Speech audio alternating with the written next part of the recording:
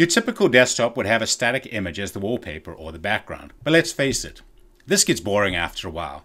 So along comes dynamic content. Most people would go into the start, go into Microsoft Store. Once you're here, do a quick search for Desktop Live Wallpaper. Once this comes up on your screen, download a particular application that you might want to use. Just bear in mind, a lot of these, although they're marked as free, they are limited. In other words, they'll only play certain media types, or they're not the easiest to use, or they only give you certain things that you can do. So I'm not a particular fan of that. Plus, if you need to use other formats, they demand a fee from you. Let's have a look at a different option. If you've ever used a program called VLC Media Player, which I use all the time, go to videolan.org slash VLC and download the media player. This is a great utility. Every computer should come with this by default anyway, because it plays every media format. Once you've downloaded it, run the program. There's a couple of quick changes we need to make to do what I'm going to show you. Click on Tools, Preferences, Video at top, and then change this option at the bottom to show settings and must be selected all. Scroll down to the bottom and under the video section you'll see output modules. The video output module you want to change this to let's have a look which is the right one DirectX Direct Draw. That's the one that we want right there. Save the setting. Now here's where this gets really interesting. You can use this to play any video on your background. What I normally like to do is there's a lot of videos on YouTube that are extended videos, like seven hours or longer, that are nature scenes or other kinds of videos like along those lines. So let's have a look. As you can see, these particular ones, they're 4K videos that extend 11 hours, 3 hours, 9 hours.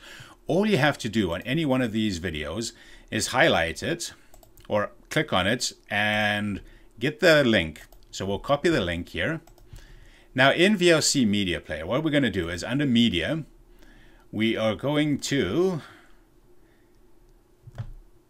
oops, open a network stream. And the network stream, just paste in your YouTube link. And we are going to play it. Right click on this once it starts up here. And we're going to set as your wallpaper.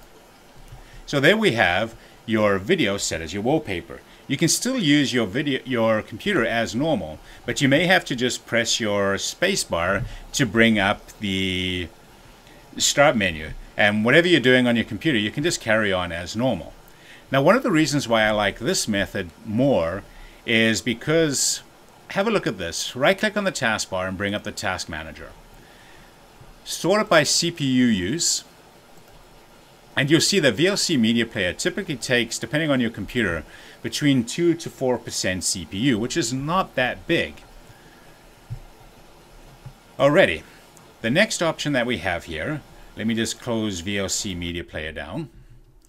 The next option that I really like, and a lot of people are using this one, is downloading a piece of software from GitHub called Repaper.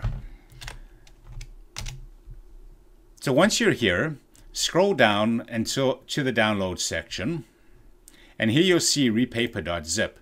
Download this file, save it onto your hard drive.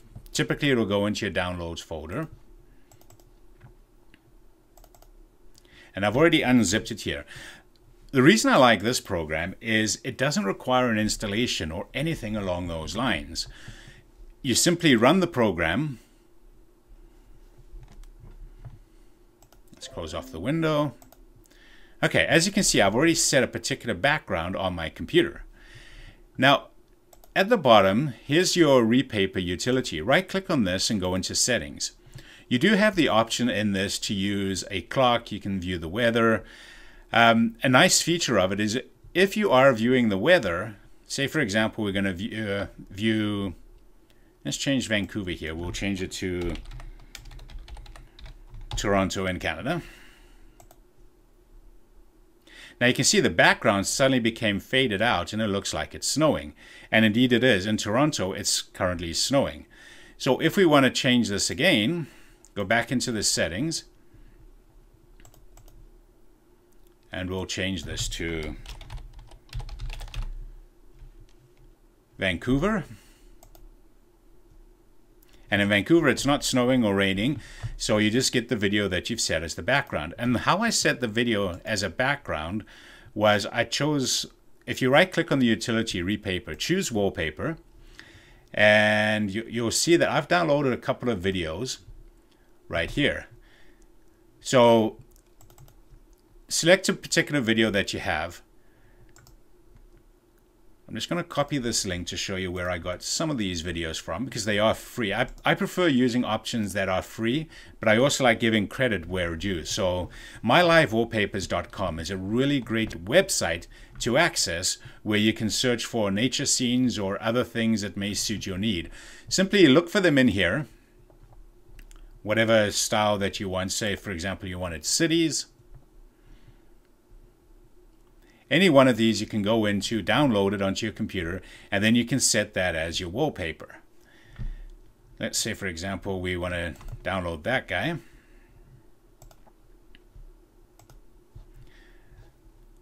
Okay, so we'll go back into Repaper. We're going to choose our wallpaper, and I just left it in my downloads folder at the moment.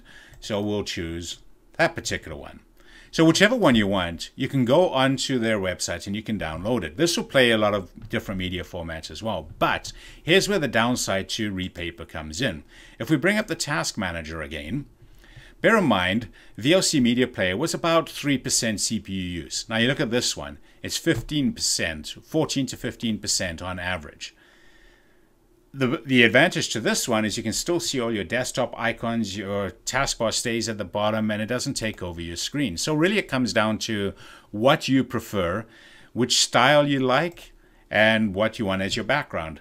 Personally, like I say, I prefer the VLC media option and playing one of those nice long videos for when I just want to use my computer to look at something moving in the background. Or you have customers coming in and you want to impress them with your knowledge of computers. Hopefully this has been entertaining for you. If it is, please take a second just to give us a thumbs up at the bottom and have a great day.